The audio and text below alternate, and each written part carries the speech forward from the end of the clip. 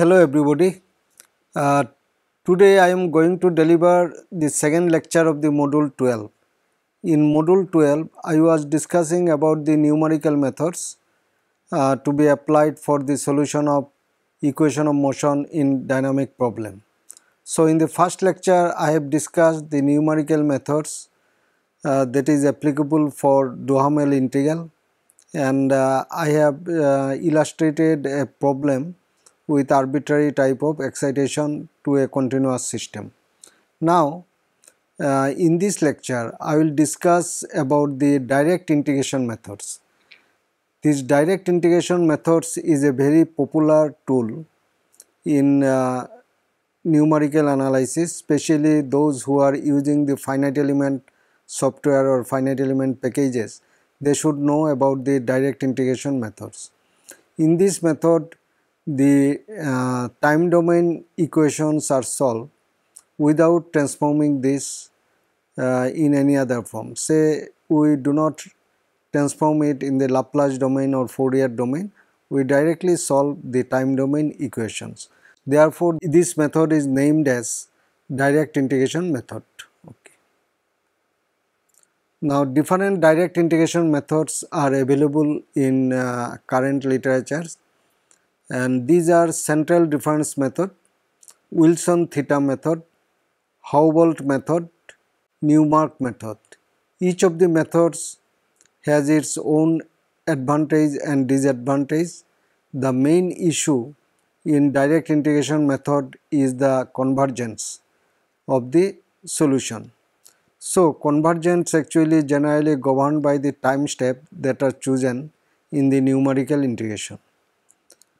Uh, here uh, if you compare uh, one method with another method you will find each method differ uh, has set some criteria for selecting the uh, the stability uh, time step for stability and convergence. So now in this lecture I will discuss the first method that is the central difference method. I will discuss with the formulation and this fourth method I will discuss. So, these two methods will be discussed in this course. Other methods can be also learned in a similar way because the, uh, the formulation and derivations follows similar steps. So, what I want to say you that in these two methods I will discuss from the first principle that how the direct integration method using the central difference scheme and other uh, scheme that is Newmark method. It is published by Newmark. Is formulated that is the intermediate steps I will try to uh, show you how this is done. Okay. Now today's uh, lecture will consist of different direct integration methods for dynamic equation that I have discussed already in the previous slides. Then central difference method I will discuss in detail. Newmark's method also I will discuss in detail with the derivations and then I will show you a numerical problems with some few steps. Although this is a numerical example solved here manually but uh, since it is a uh, direct integration scheme, scheme that is step by step integration.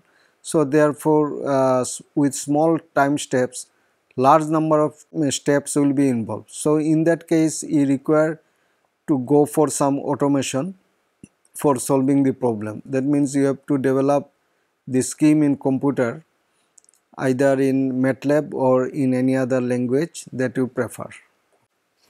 Let us see what is direct integration scheme. In the direct integration scheme, equation of motion in time domain are integrated using step by step procedure. So, knowing the uh, the response quantities that is displacement, velocity and acceleration in the previous steps, we can determine the uh, corresponding quantity in quantities in the current step and these quantities again become the initial condition for the next time interval. So, like that it will go on in a step by step manner and ultimately uh, at the end of total time span the response is stored. Okay. The term direct is used because uh, it is not transformed in any other domain. The method requires to satisfy the equation of motion during small time interval delta t instead of satisfying it at any time instant t. So, we will uh, see that at any time interval delta t which may not be uniform during the entire uh, length of integration, but within the small interval delta t the dynamic equation of equilibrium is satisfied. So, let us first discuss the central difference scheme. Here we use finite difference approximation of the time derivative of the displacement, velocity and acceleration. Take constant time step delta ti equal to delta t.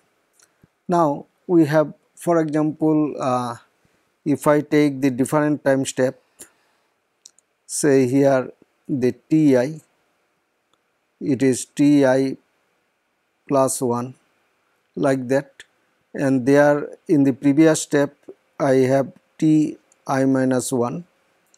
So there suppose the displacement here is ui plus 1 and here it is ui and here it is ui minus 1. Similarly the corresponding velocity will be u dot i plus 1 and acceleration will be u double dot i plus 1 like that other quantities can also be expressed. So, in finite difference form we can write the velocity u dot i at the time step here uh, ui the time step is taken here delta t which is uniform. So, using the finite difference approximation we can write the first derivative of u i that is uh, u dot i equal to ui plus 1 minus ui minus 1 divided by 2 delta t that is central difference scheme. Then u double dot i that is the acceleration of the system is equal to ui plus 1 minus 2 ui plus ui minus 1 divided by delta t square. So, you can see the second derivative involved this displacement here at, ti plus 1 then displacement at this uh, and ti minus 1 whereas the first derivative that is the velocity uses the displacement at i plus 1 and i minus 1 and gap between these two points is determined here it is 280. So, this is the slope of the time versus displacement curve. Now, equation of motion at instant ti at any instant ti's can be written as m u double dot i that is the inertia term plus c u dot i plus k u i equal to pi. pi is the force at ith time interval. So, this method can in incorporate any type of force. So, any type of arbitrary force can be represented. So, here the force function forcing function is represented by pt and the variation of force with respect to time may be arbitrary because we are issuing the numerical integration scheme. So, we can use such scheme for this seismic analysis also when the ground motion is very much random a sample of acceleration time history is random in nature no mathematical function can be fitted so in this type of uh, random time history so therefore we can use the step by step integration scheme so the equation of equilibrium is uh, shown here. This is the inertia term, this is the damping term and this is the, the elastic force due to uh, the stiffness of the system. Okay. Now after substitution of u dot i and u double dot i, what is u dot i? u dot i we have found here in this equation u dot i is there and it is u i plus 1 minus u i minus 1. What is u double dot i? u uh, double dot i is found here u double dot i equal to ui plus 1 minus 2 ui plus ui minus 1 divided by delta t whole square. So, substituting this parameter that is velocity and acceleration here we can now express the equation in this form. You can see the m into third bracket that I have placed. The quantity inside the third bracket is nothing but this expression. Then c into u dot i. So, here inside the third bracket the coefficient of C is nothing but nothing but this velocity expression in finite difference form plus k ui equal to pi. Now you can see we have three uh, displacement coordinates means uh, displacement at three time instants.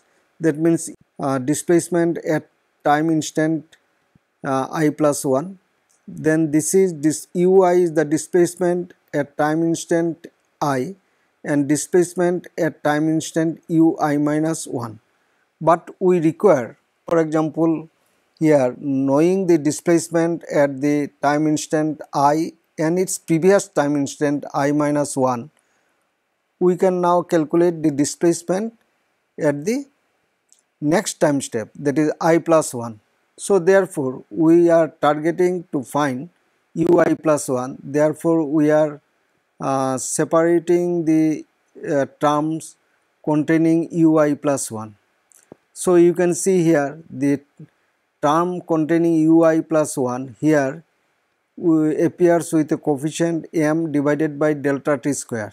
Similarly, here you can see the term containing ui plus 1 is uh, with coefficient c divided by 2 delta t. So, hence we can write this m divided by delta t square plus c divided by 2 delta t. This is the coefficient of ui plus 1.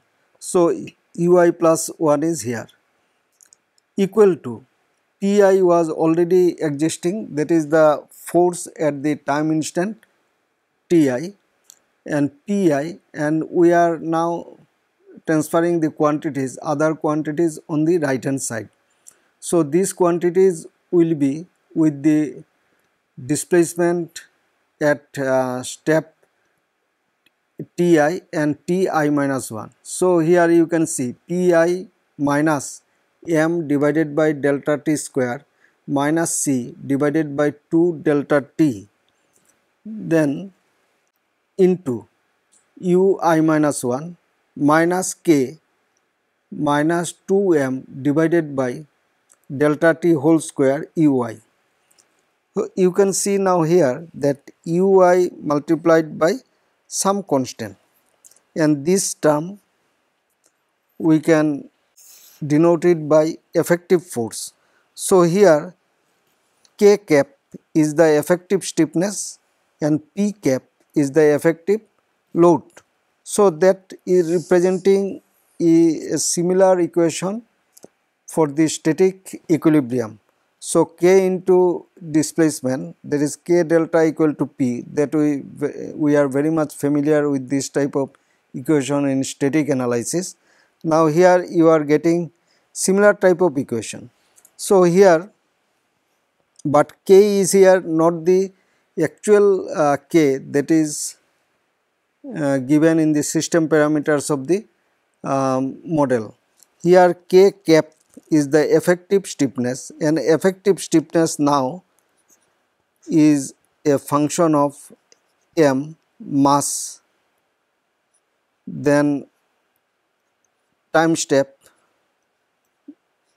function of uh, damping and time step. So, you can see this is the effective stiffness. Effective force or load is also being influenced by this uh, mass, stiffness, mass and damping specially and also the original spring constant and then time step. And again this previous uh, displacement ui and ui minus 1 uh, are also appearing in the effective load expression. So, once we know this expression similar to the static equilibrium equations we can find ui plus 1 equal to k cap inverse into effective uh, P that is the effective load.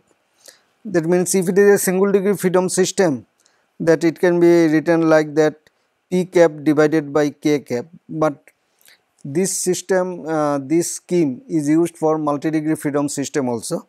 So, therefore, generally a stiffness matrix will be formed and we require to inverse the stiffness matrix. So, therefore, I have written with an inverse sign so that you can apply to the matrix equation also.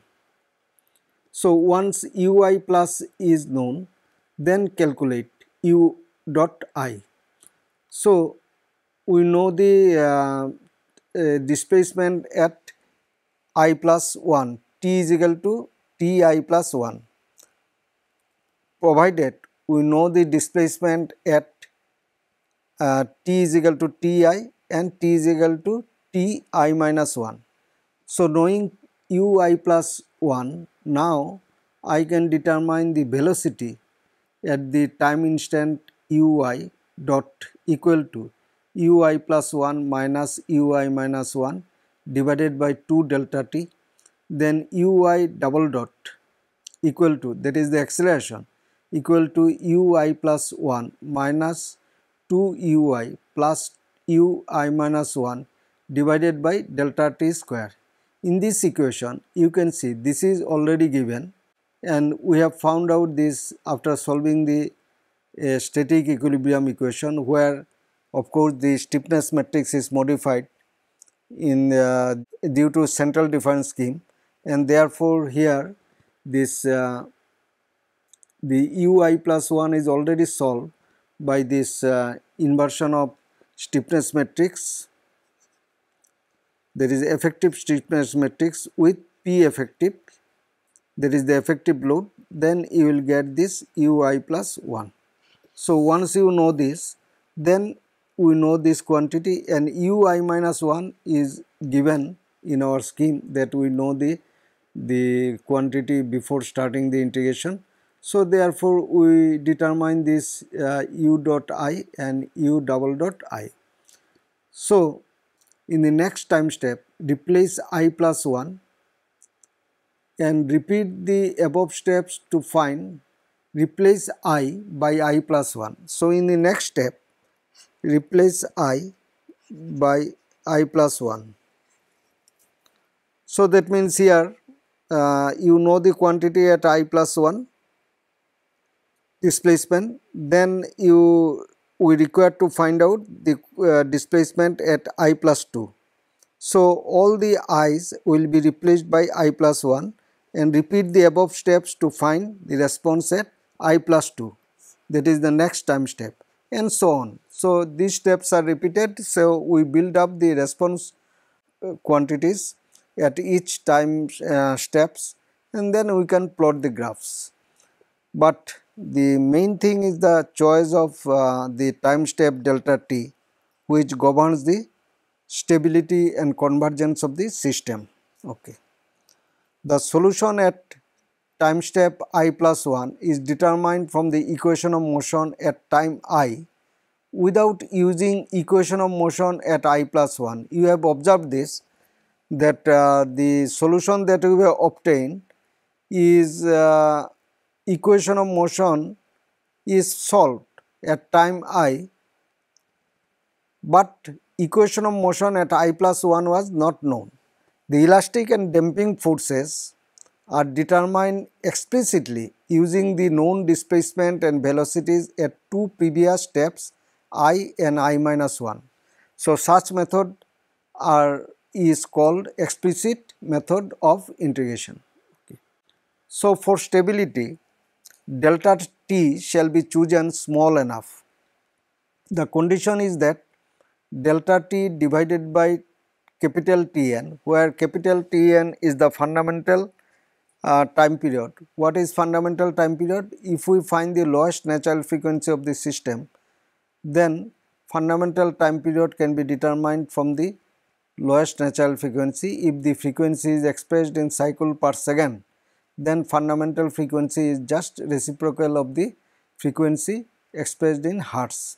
So, delta t by capital T n is less than 1 by pi.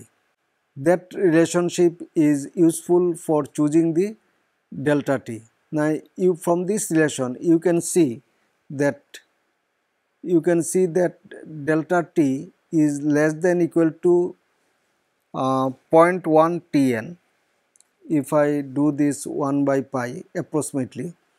So, it shows that if delta t is less than Tn by pi, uh, for any delta t this uh, system is converges, but it is not so. Usually delta t should be less than 0.1 uh, that is one tenth of the time period at least, but for earthquake motion even the smaller time step are necessary and can be chosen for accurate result.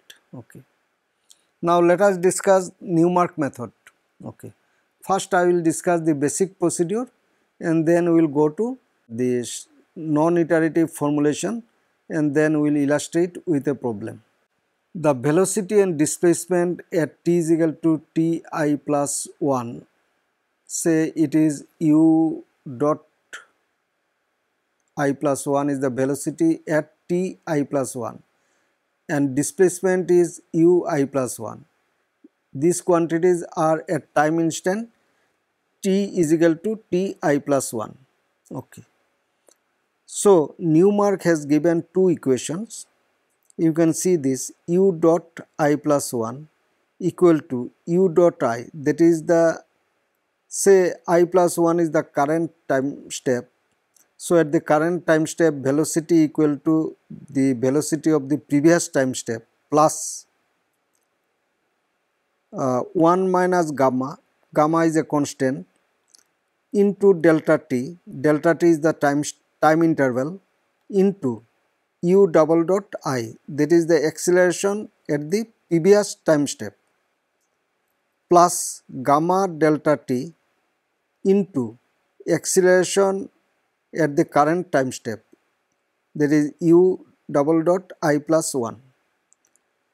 Here this equation if you see there is the displacement is given as displacement of the current time step ui plus 1 equal to displacement of the previous time step then you can see that time interval delta t multiplied by u dot i that is the velocity of the previous time step plus this is uh, say bracket 0.5 minus beta, beta is another constant into delta t square multiplied by u double dot i that is the acceleration at the previous time step plus beta delta t whole square double dot u i plus 1 there is the acceleration at the current time step. So, in this case you see to find the displacement at this step i plus 1 you require the velocity and acceleration of the previous time step as well as the acceleration. But acceleration of the present time step is also necessary. So, let us see how this can be accomplished. Typical value of this uh, constants gamma and beta are generally 0.5 and beta lies between 1 by 6 to 1 by 4. We will prove this how what is the beta gamma and beta from this relationship. Okay. Now let us find the relations between ui plus 1, u dot i plus 1 and u double dot i plus 1 from the known quantities at time t is equal to ti that means ui u dot i u double dot i. Now two methods are available for Newmark's uh, integration scheme. One is average acceleration method and another is linear acceleration method. Now first let us discuss the average acceleration method. Say for uh, here at time step t dot ti the acceleration is u dot i. After time interval delta t that is the time step ti plus 1 the acceleration is u double dot i plus 1. So, let us take in this time interval delta t an average acceleration this is average of these two. So, in the time interval what is time interval? Delta t is the time interval equal to t i plus 1 minus t i. And average acceleration average acceleration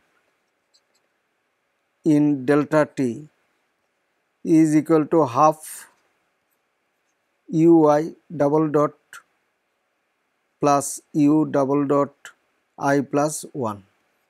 So, this is the average acceleration. So, average acceleration is assumed in this time interval and the procedure is developed. Okay. Now, the average acceleration at any time instant measured from this point Ti. So, Ti is taken as origin here. So, if I measure the uh, time from this uh, reference point, then at a instant tau elapsed from this uh, instant Ti, we have this acceleration which is average because during this time interval the acceleration is uniform that is equal to average acceleration. So, u double dot tau equal to half u double dot i plus u double dot i plus 1. Now, let us integrate it with respect to tau.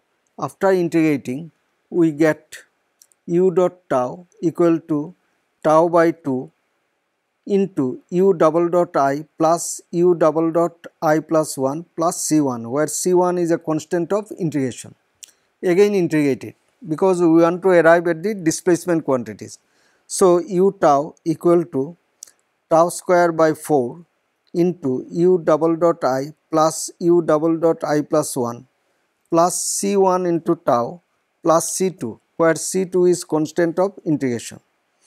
Now, at tau is equal to 0 u naught that at this instant that is here the tau is measured from here we take the uh, displacement as ui and also the velocity u dot here tau is 0 here we take u dot uh, 0 here u dot i. So, therefore, C1 becomes u dot i and uh, C2 is ui. So, C2 is ui. Okay. So, the constant of integration is now known. So, therefore, we can write u dot i plus 1 here at the end of the time step at t is equal to ti plus 1 we can write u dot i plus 1 equal to u dot i plus delta t divided by 2 into u double dot i plus u double dot i plus 1. So, this is the velocity at the time step t i plus 1. Similarly, displacement at time t i plus 1 will be ui plus 1 plus ui plus u dot i into delta t plus delta t square divided by 4 u double dot i plus u double dot i plus 1. These quantities are found with reference to this equation after putting the constant of integration. This is written from this equation and this is also written this is written from this equation after putting the value of uh, the constants of integration and rearranging the terms. Now, uh, we get this equation. If you compare these above two equations with the original equation of Newmark that is Newmark's equation is u dot i plus 1 equal to u dot i plus 1 minus gamma into delta t u double dot i plus gamma into delta t u double dot i plus 1 and ui plus 1 equal to ui plus delta t u dot i plus 0.5 minus beta delta t square u double dot i plus beta delta t square u double dot i plus 1. If you compare these two equation with this, first let us compare this equation with this. We can immediately say that if you compare say the coefficient of u double dot i plus 1, if you compare the coefficient of u double dot i plus 1 from this two equation, you can get gamma equal to half. So, gamma is 0.5. Similarly, here if you compare this with the coefficient of u double dot i 1 minus gamma is equal to half. So, giving it uh, gamma as 0.5. So, gamma is 0.5. Now, from this equation you compare this coefficient of double dot i plus 1 with uh, equation say beta here it is beta is there and delta t square is there. So, you uh, compare this equation with this equation you will get the coefficient of u double dot i plus 1 is 1 by 4. So, therefore, beta is 1 by 4 and uh, beta is 1 by 4 because it becomes this 0.5 minus beta here it becomes 0.5 minus beta into u double dot i. Here I compared if you compare with this coefficient of u double dot i with this equation then you will get uh, this 0.5 minus beta equal to 1 fourth. Similarly, if you compare the coefficient of u double dot i plus 1 in these two equation, you will directly get beta equal to 1 by 4 or 0.25 okay. So, the linear uh, the average acceleration methods the coefficients are gamma is equal to 0.5 and beta is equal to 1 by 4 that is 0.25. So, that is established. Now, let us go to linear acceleration scheme. In the linear acceleration scheme the acceleration in the time interval delta t varies linearly. So, this is the assumption.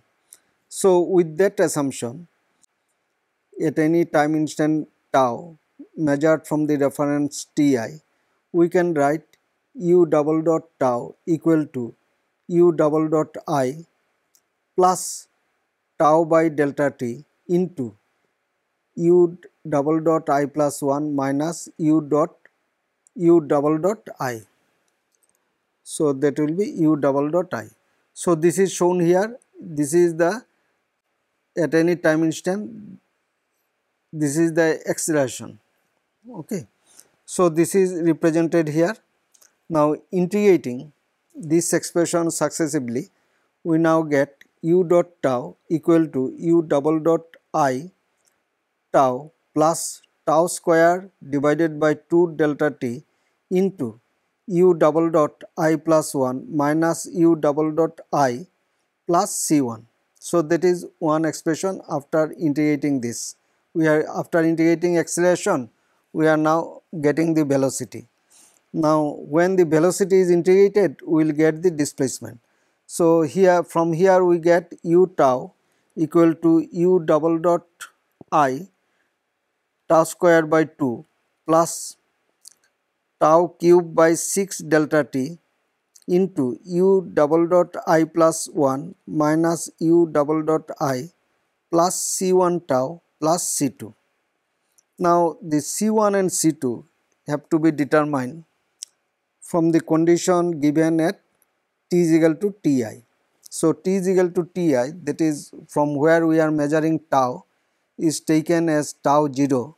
So, therefore, at tau is equal to 0 we are getting this u0 is equal to ui at this instant and u dot 0 is equal to u dot i. So, utilizing this known information, utilizing this information, we now get C1 equal to u dot i and C2 is equal to ui.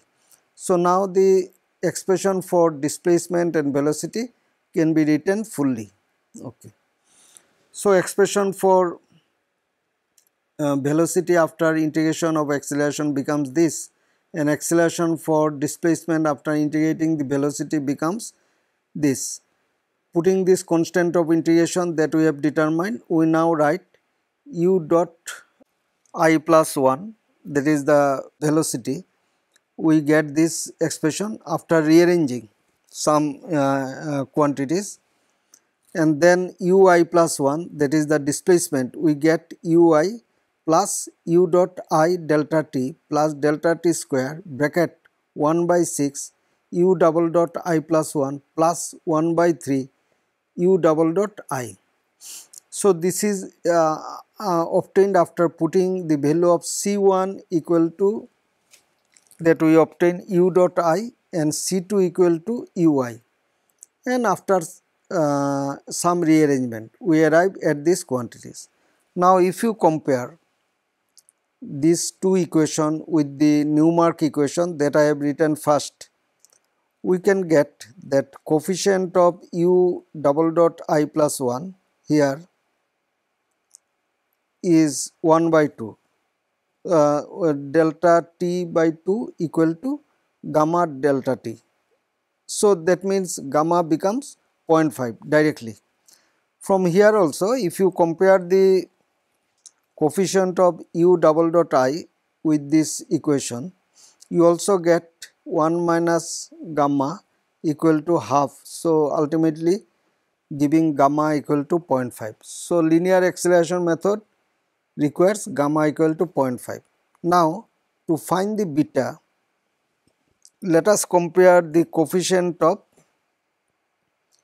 u double dot i plus 1. So, u double dot i plus 1 is here the coefficient of 1 by 6 delta t square. Now here the coefficient of u double dot i plus 1 is beta delta t square. So therefore beta is equal to 1 by 6. So for linear acceleration method we have very important conclusion that constant of Newmark integration scheme that is gamma and beta are found as 0.5 and 1 by 6 respectively. So, in the integration scheme or numerical evaluation we will uh, use this uh, gamma equal to 0.5 and beta is equal to 1 by 6 if it is linear acceleration method. If it is average acceleration method then we will use gamma equal to 0.5 and beta is equal to 1 by 4. Okay. Now this formulation basic procedure that I have discussed let us write it in a incremental form that will be useful to carry out the uh, calculations easily. So, u dot i plus 1 that we have obtained is equal to u dot i plus 1 minus gamma into delta t u double dot i plus gamma delta t u double dot i plus 1. Now here directly I have written the incremental velocity. How the incremental velocity is written? ui double dot equal to the difference of velocity at instant i plus 1 and i.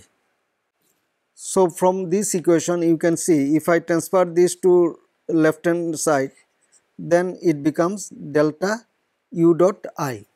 So, this is the uh, this uh, increment of velocity.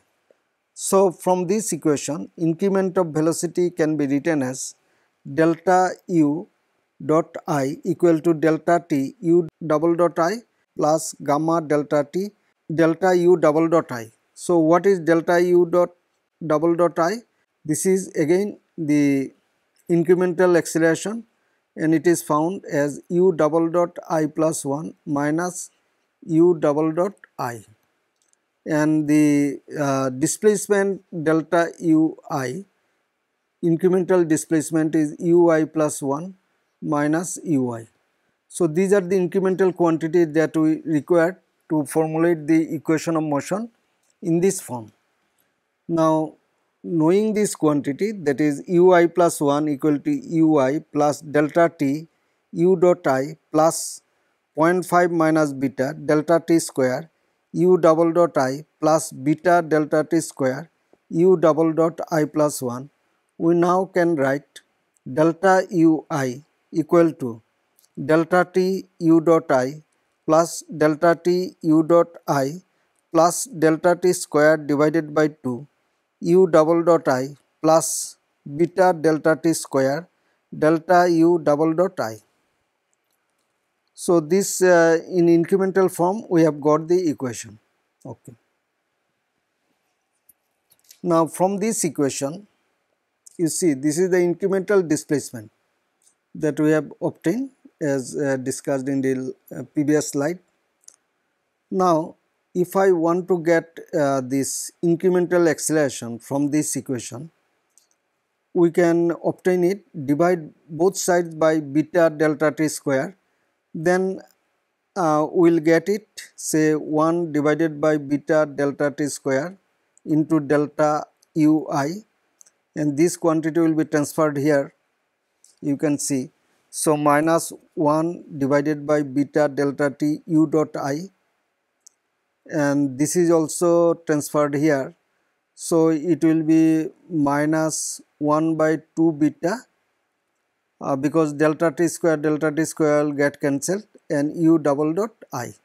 So, this is the incremental acceleration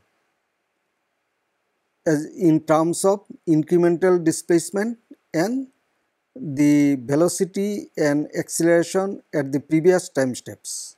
Okay. So, substitute above all these quantities uh, especially this incremental acceleration in the incremental velocity acceleration. What is incremental velocity acceleration? This is the incremental velocity acceleration delta u dot i equal to delta t u double dot i plus gamma delta t into delta u double dot i. So, substituting this delta u double dot i in this equation, we now get delta u dot i equal to gamma divided by beta delta t into delta u i minus gamma by beta into u dot i plus delta t into 1 minus gamma divided by 2 beta into u double dot i. So, we have got incremental velocity in terms of this incremental displacement and the acceleration and velocity at the previous time steps. Okay. Now, substitute all these incremental quantities that is incremental displacement delta ui, incremental velocity delta u dot i and incremental acceleration delta u double dot i in incremental form of equation of motion. Equation of motion now is written in the incremental form m delta u double dot i plus c delta u dot i equal to k delta ui equal to delta pi. Now this equation is a dynamic equilibrium equations where the inertia force is involved. Now after rearranging this equation it can be written in this form k cap into delta ui equal to delta p cap where p cap uh, delta p cap is the effective increment of load and k cap is the this uh, effective stiffness. Now after manipulating this equation that means substituting these quantities delta u double dot i delta u dot i delta ui and then rearranging the terms you will get the stiffness term that is uh, the coefficient of delta ui becomes k plus gamma divided by beta delta t into c plus 1 by beta delta t square into m where m and c are the uh, mass and damping of the system. k is the spring constant. So, now you can see the stiffness term is modified. K is the original stiffness, but these additional terms comes here to form the effective stiffness term. Then effective increment of load delta pi becomes this is uh, delta pi that is the, the difference of load plus 1 divided by beta delta t into m plus gamma by beta into c into u dot i plus 1 by 2 beta m plus delta t into gamma divided by 2 beta minus 1 into c into u double dot i. So, these terms are uh, obtained when you substitute this uh, all this incremental quantity here and then separate the terms. One is the uh, term with the incremental displacement, incremental uh, uh, velocity and incremental acceleration that you are substituting here. And after uh, rearrangement you will find that effective stiffness is becoming this. And the equation of motion can be written equivalent to static equilibrium equation. K effective into delta ui equal to delta p cap k cap equal to delta ui equal to delta p cap. So, delta p is the original increment of load, but here this is modified in view of the other parameters that is involved in, in displacement, incremental velocity and incremental acceleration. So, this is your incremental load and this is the incremental stiffness.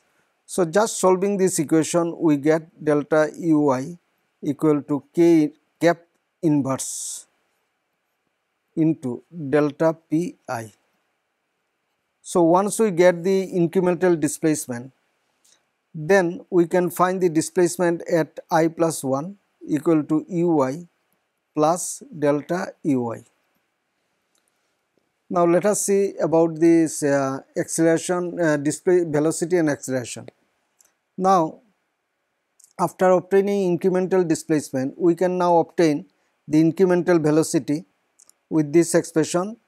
Incremental velocity is gamma divided by beta delta t into delta ui minus gamma divided by beta into u dot i plus delta t into 1 minus gamma divided by 2 beta into u double dot i. Then uh, the incremental acceleration delta u double dot i equal to 1 divided by beta into delta t square into delta ui minus 1 by beta delta t into u dot i minus 1 divided by 2 beta into u double dot i. After that we can calculate other incremental quantities. So, we can calculate this delta ui there is incremental velocity as ui dot plus delta ui dot that we have found from this equation. Then we get this incremental acceleration is equal to ui double dot plus delta ui double dot. That is the velocity and acceleration at time instant at t is equal to t i plus 1. Note that from knowing the incremental quantities of velocity and acceleration and even displacement and knowing the displacement and acceleration in the current step, we can determine the acceleration and velocity at the next time step i plus 1. So, once you get this, we can get the acceleration u double dot i plus 1 after solving the equation of equilibrium m inverse into p i plus 1 minus c u dot i plus 1 minus k u i plus 1. So, this is just a direct solution of this acceleration quantity that is if I write the equation of motion at t is equal to t i plus 1 then I can write m u i plus 1 double dot plus c u i double dot plus k u i equal to pi. So, we can get that ui plus 1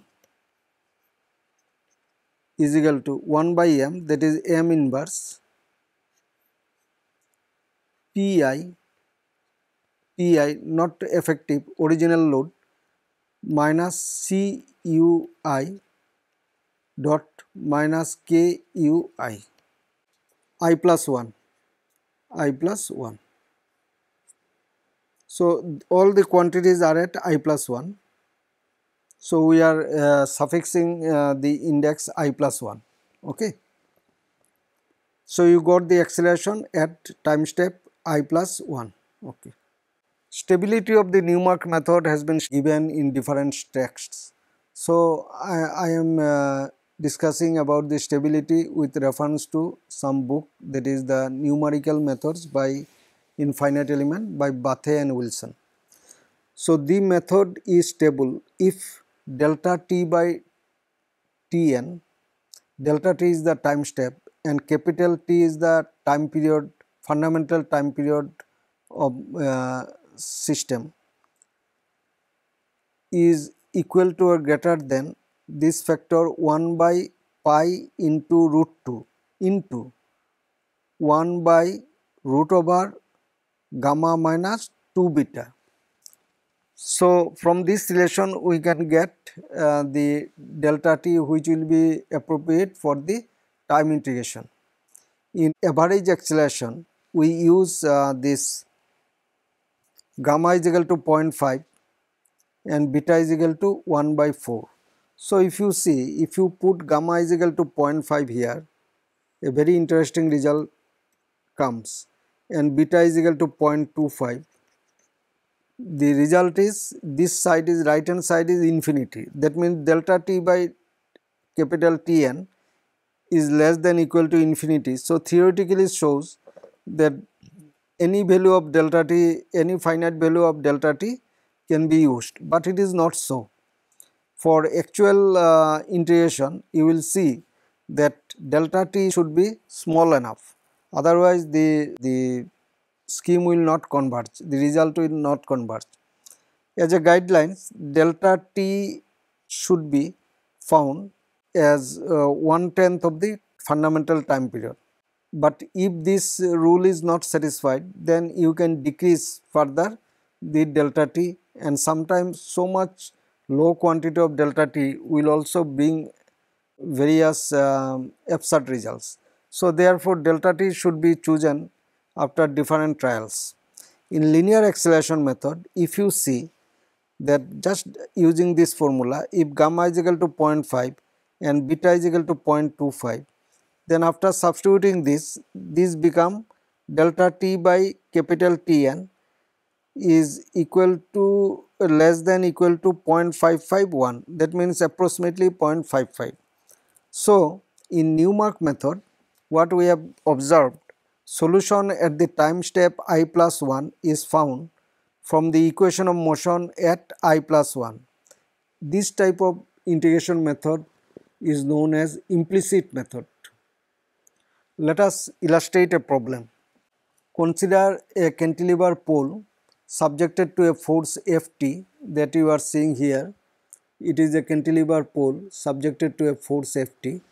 The length of the cantilever is 6 meter and uh, other data that is given fundamental natural frequency is 62.83 62.83 this is the fundamental frequency of this uh, in radian circular frequency then uh, the damping ratio is 0.02 and we are using the approximate mode shape function just to uh, illustrate the procedure.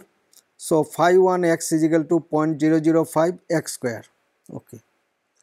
Now, let us use the Newmark's beta method given the force applied on this structure is in this form. So, time history of the force is given here as this in this form. So, here you can see the force exists from 0 to 0.08 uh, second and we have uh, sampled this force at 0.01 second. Okay. Now, let us uh, obtain this time period. If you see the time period of motion time period can be found out as 2 pi by omega 1 is the lowest frequency.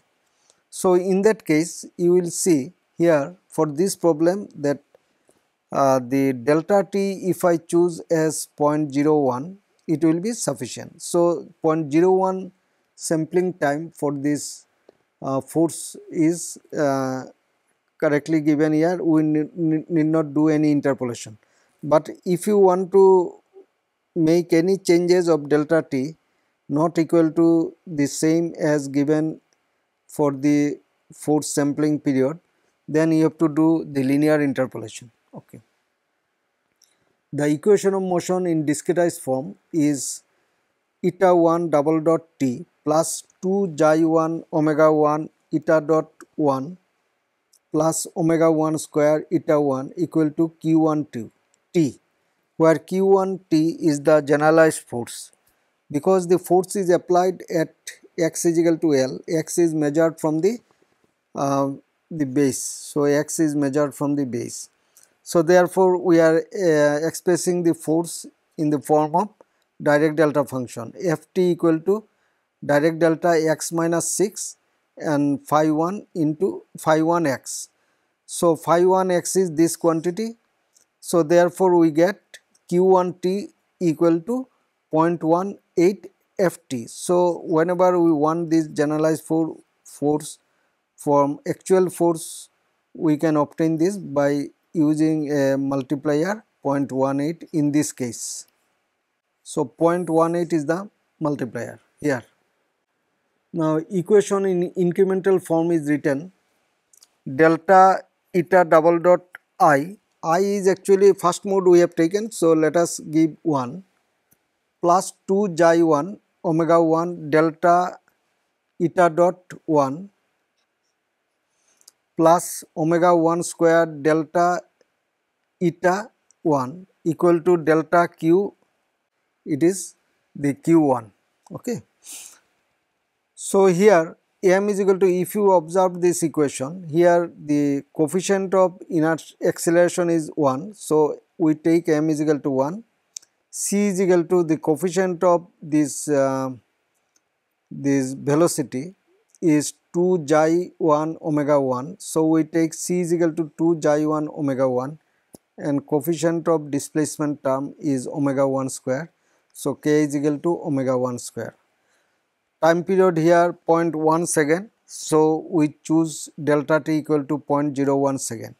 Initial conditions are given at t is equal to 0 eta is equal to 0 acceleration is 0 and uh, from this diagram the earlier slide that we have shown the force distribution you can see at 0 at time 0 the force is also 0. So, we get this at uh, this instant at t is equal to 0 we get the x, uh, this acceleration. Acceleration is m inverse. M is here 1 equal to uh, p 0 minus c into u 0 dot minus k u 0 here of course c is this quantity and k is this quantity m is 1 and you can see p 0 is 0 here so, ultimately acceleration at time instant 0 t0 is also 0. So, therefore, initial conditions we have determined. Now, calculation at the next time step t1 equal to 0 was the initial uh, starting time 0 plus delta t. Delta q1 equal to because we have seen in this uh, difference of force it starts from 0. If you see the graph here the at t is equal to 0.01 it is 40 newton and here it is 0. So, delta q1 is 40 minus 0 into 0.18. So, that multiplier we have to use. So, we get 7.2. So, for linear acceleration method we choose point, uh, gamma is equal to 0.5 beta is equal to 1 by 6. So, therefore, effective stiffness after applying this formula k cap equal to k plus this gamma divided by beta delta t c plus 1 divided by beta delta t square m. You can understand what is k. This k is omega 1 square. What is beta? Beta is this quantity and uh, c is actually 2 xi is the damping ratio into omega 1 and m is also 1. So, substituting all these value omega 1 is 62.83 we all these numerical values is substituted in this expression. We get k cap equal to 6.4702 into 10 to the power 4 okay. Then we get delta q1 cap that is the effective load is equal to delta q1 plus 1 by beta delta t m plus gamma divided by beta into c into eta dot 0 plus bracket 1 by 2 beta m plus delta t into gamma divided by 2 beta minus 1 into c into eta double dot 0. Now this quantity at time t is equal to 0 is 0. We have found this is 0. So therefore delta q1 at this next time step we have found that it is 4260. So, variation of force here at a time delta t equal to 0.01. So, delta q1 now will be that is the difference is 40 uh, and we are multiplying by with 0.18. So, therefore, we are getting this equal to 7.2 because it was starting from 0. So 0 to 40 that is 1 into 0.18 it is 7.2 okay. So therefore given the initial displacement 0, initial velocity 0 and initial acceleration is also coming to be 0 because the force at the time t is equal to 0 is 0 we now get this delta eta 1 equal to 1.113 into 10 to the power minus 4 delta eta 1 double dot equal to 6.676 after substituting the appropriate value. So, in the next time step we now calculate. So, this is given at time step delta t that is starting time was 0 and then next time step delta t we are getting this quantity this uh, generalized coordinate of displacement is this generalized coordinate for velocity is 0.033 and generalized coordinate for acceleration is 6.67. Then uh, in the next time step that is t is equal to 2 delta t. Here we are getting that difference is here you can see here 60 to 40. So 20 into 0.18 that is 3.6 okay. So, here delta Q2 is uh, 6, uh, 3.6. So, other quantities are substituted because these are already known at the time step delta t that is T0 was 0 and T1 was delta t. So, now we are going to find the response at uh, T2 equal to 0 plus 2 delta t that is 2 delta t. So, delta Q2 is 3.6 and eta dot delta t is equal to 0.033, eta double dot delta t is equal to 6.67 and uh, after doing this operation we now get this uh, increment of displacement at this time instant that t plus delta t that will be this uh, 2 delta t actually will be 3.7041 into 10 to the power minus 4. So, after getting this uh, we get the acceleration as minus 17.832 this is the incremental acceleration. Similarly, incremental velocity we get as minus 0.1225. This is just substituting the value numerical values of this quantity because this we already obtained and these are known quantities. So, we obtain this as this. So, the result at the next time step for the generalized coordinate and its derivatives are eta 2 delta t equal to 4.817 into 10 to the power minus 4 because the incremental quantity have to be added then eta dot 2 delta t equal to minus 0.0891 and eta double dot 2 delta t becomes minus 11.155 but these are only the generalized coordinates values. So, we convert this into physical response that is y x t is known as phi x into eta t.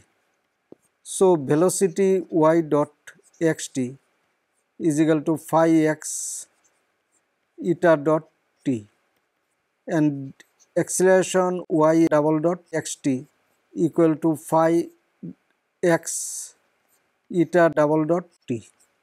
So, we can find at t is equal to 0 these are the quantities at t plus t equal to delta t say 0 plus delta t uh, the displacement is 2.034 into 10 to the power minus 6 meter velocity is 5.94 10 to the power minus 3 meter per second and acceleration is 1.2 meter per second square.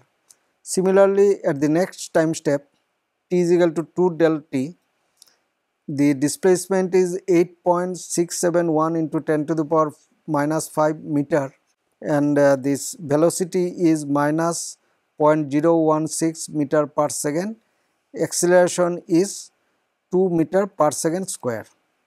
This is in accordance with this uh, separation of variable technique that is used in continuous system. Okay. So, the procedure can be repeated and uh, 3 delta t, 4 delta t and that like that it can go on. So, uh, for repetitive calculation it is very convenient to write a code on this pro, uh, problem and easily calculate for any uh, time span. But one thing is to be cautioned that convergence of this uh, scheme has to be tested and that uh, requires the proper selection of delta t. Let us summarize today's lecture. In this lecture, we have discussed the direct integration method to solve the equation of motion in time domain. Central difference method and Newmark's method are discussed in detail and stability of the numerical scheme was also discussed. Lastly, a problem was illustrated. A problem was of long cantilever pole fixed at the base and it is subjected to an arbitrary force uh, at the tip and uh, this was evaluated at 3 steps say 0, delta t and 2 delta t and procedure can be repeated but all the steps are not uh, completed here okay thank you very much